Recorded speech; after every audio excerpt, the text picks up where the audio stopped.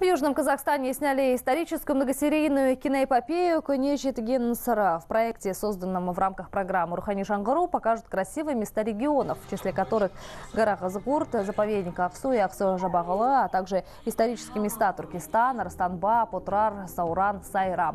Помимо этого, в рамках программы «Туханжир» реализовано 577 проектов на общую сумму 31,4 миллиарда тенге. А в прошлом году по инициативе местных предпринимателей реализовано 138 проектов.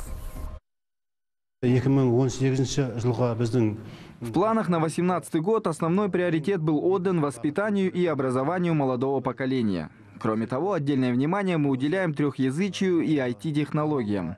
Все эти аспекты важны для молодого поколения. В этом году готовимся к проведению большого мероприятия под названием «Моя будущая профессия».